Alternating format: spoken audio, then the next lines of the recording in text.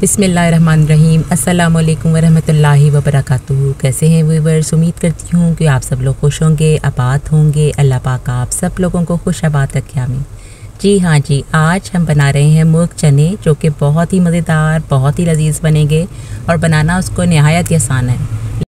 तो झटपट से बनने वाली ये रेसिपी है और बहुत ही सबको पसंद आने वाली है। तो सबसे पहले अगर आप लोगों ने मेरे चैनल को सब्सक्राइब नहीं किया हुआ तो मेरे चैनल को जल्दी से सब्सक्राइब कर लीजिए।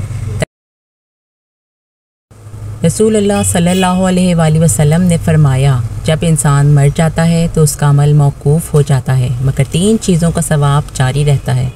नंबर एक, सदका जारिया। नंबर दो, इल्म, जिससे लोग फ़ायदा उठाएँ। और नंबर तीन, नेक औलाद जो उसके लिए दुआ करे। तो जी, सबसे पहले हम जो है इसके लिए चिकन के लेंगे। चिकन मैंने यहाँ पे वन के जी के करीब लिया है और प्याज जो है तकरीबन दो साइज़ मीडियम साइज़ के प्याज आप इस तरह काट लें। प्याज के साथ हम घी इसमें शामिल कर देंगे और दो बड़े सालन वाले चम्मच जो है वो आप घी किस तरह डाल लें और प्याज को हम थोड़ी सी ब्राउन कर लेंगे। और यहाँ पर मैंने लिए हैं तेज़पात के दो तीन पत्ते हैं तीन चार लौंगे हैं, एक जो है पताई बातियान का फूल आप ले लें और दो बड़ी इलाचियाँ वो इसमें हम डाल लेंगे साथ ही। फ्लेम जो है वो हमारी मीडियम है और हम मिसाले को तकरीबन दो मिनट के लिए इसको हल्का सा सॉटे से कर लेंगे कि हमारे जो है थोड़ी सी खुशबू सी आ जाए इसके अंदर मिसालों में और प्याज जो है थोड़ी सी और ब्राउन कर लेंगे। तो हमारा प्याज का जो कलर है वो अच्छे से ब्राउन हो चुका है और इसके साथ ही हम चिकन डाल देंगे और चिकन को भी हमने फ्राई सा कर लेना है और इसको अच्छे से टेंडर कर लेना है। चिकन जो हमारा फ्राई हो जाए और साथ ही हमने इसके साथ लहसन जो है वो पिसा हुआ मैंने टू टेबल स्पून लहसन लिया है, तीन से चार हरी मिर्चें ली हैं और अदरक भी आप इस तरह बारीक बारीक से काट लीजिए और ये सब चीज़ें हम जो है वो चिकन के साथ ही शामिल कर देंगे। और तकरीबन फाइव मिनट्स के लिए हम मीडियम फ्लेम पर इसको अच्छे से फ्राई सा कर लेंगे।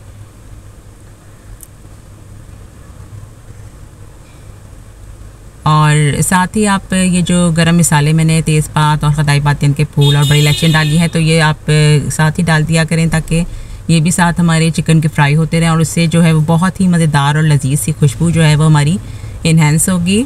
और साथ ही हमारा जो है पिसे हुए ये मिसाले, वो डालेंगे तकरीबन एक से डेढ़ टेबल स्पून जो है वो पिसा हुआ धनिया है, वन टेबल स्पून इसमें मैंने पिसी हुई मिर्चें ली हैं। हाफ़ टी स्पून इसमें कुटी हुई मिर्चें हैं, नमक आप अपने टेस्ट के मुताबिक मैंने वन टी टेबल स्पून लिया है तो वो इसमें शामिल कर देंगे। और सारे मिसालों को भी हम अच्छे से भून लेंगे और थोड़ा थोड़ा पानी डाल के शामिल करती जाइए और अपने मिसालों को जो है वो अच्छे से हम भूनते रहेंगे। कि हमारा चिकन भी अच्छे से फ्राई हो जाए और सारे पिसे हुए मिसाले, गरम मिसाले भी अच्छे से इसके साथ, अच्छे से फ्राई हो जाएँ और इनकी स्मेल जो है बहुत अच्छे से इसके साथ सब इन्हेंस हो जाए। तो तकरीबन फाइव मिनट्स हो चुके हैं, हमारा जो है सारे मिसाले अच्छे से भुन चुके हैं। तो अब हम पानी डालकर चिकन को गलाने के लिए रख देंगे। तो तकरीबन मैंने एक से डेढ़ ग्लास जो है इसमें पानी का शामिल कर दिया है और फ्लेम आप मीडियम कर दीजिए और इसको कवर लगाकर हम तकरीबन 15 मिनट्स के लिए इसको गलने के लिए, कुक होने के लिए छोड़ देंगे। यहाँ पर मैंने चने जो है ओवरनाइट के लिए भिगो दिए हैं, तकरीबन तकरीबन 250 ग्राम्स जो है, ये चने हैं और इसको मैंने सोडा डाल कर जो था वो भिगो दिया था और इसमें नमक डालकर इसको उबाल लिया। तो बस हमारा यहाँ पे मिसाला भी जो है अच्छे से 15 मिनट्स हो चुके हैं और ये अच्छे से जो है इसकी यखनी जो है सारी बहुत ही मज़े की, चिकन की सब इसमें शामिल हो चुकी है।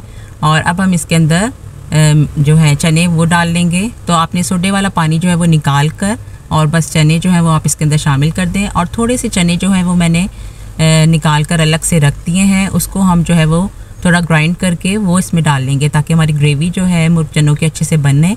तो ये थोड़े से चने मैंने अलग से रख दिए हैं और इस तरह आप इसको अच्छे से बीट कर लें। और ये जो हमारा ग्रेवी का मिसाला जो है, रेडी हुआ है, वो भी हम इसके अंदर डाल कर और अच्छे से इसको बीट कर लेंगे। तो ये बहुत ही ज़बरदस्त हमारी ग्रेवी के अंदर ये सब आप चीज़ें डालेंगी। इस तरह पिसे हुए चने ग्राइंड करके डाल लें या इस तरह बीट करके डाल लें। तो बहुत ही अच्छा जो है वो फ्लेवर इसके अंदर आएगा। तो ये सारी जो है हमने ग्रेवी के अंदर, ये ग्रेवी वाले जो बिल्कुल बीट हुए हुए चने हैं ग्राइंडर हुए हुए चने हैं ग्राइंड हुए हुए, वो इसमें शामिल कर देंगे। तो इससे फ्लेवर जो है वो बहुत इन्हेंस हो जाएगा और हमारी जो वो ग्रेवी भी है वो थिक सी हो जाएगी। तो बस हम इसको तकरीबन 15 मिनट्स के लिए कवर लगाकर अब दम पे रख देंगे। तो जनाब 15 मिनट्स हो चुके हैं और हमारे जो चने हैं, वो सब इसके अंदर शामिल होकर बहुत ही मज़ेदार मुर्ग चने जो हैं वो रेडी हुए हैं। तो ये बहुत ही लजीज़, बहुत ही उम्दा चिकन चने जो हैं वो रेडी हुए हैं। तो आप भी इस रेसिपी को बिल्कुल इसी तरह ट्राई कीजिए और बताएँ कमेंट में कि ये मेरी रेसिपी जो है वो आपको कैसी लगी है। तो लीजिए। हमारे मुर्ग चने जो हैं, वो रेडी हो चुके हैं और देखिए, क्या ज़बरदस्त ये इसमें जो है, वो कलर भी आया है और बहुत ही ये फ्लेवर में भी बहुत ही टेस्ट में मज़ेदार हैं। तो आप भी इस रेसिपी को ज़रूर ट्राई कीजिए। तो झटपट से बनने वाली ये रेसिपी है, बहुत ही कम टाइम में और बहुत ही मज़े की ये रेसिपी जो है, ये बनती है।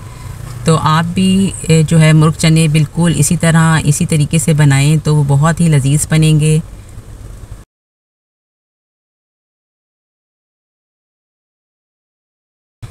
तो आप थोड़े से चने जो हैं वो इसकी ग्राइंड करके इसको इसमें ग्रेवी में शामिल कर लिया करें तो उससे जो फ्लेवर है वो बहुत ही ज़बरदस्त आता है।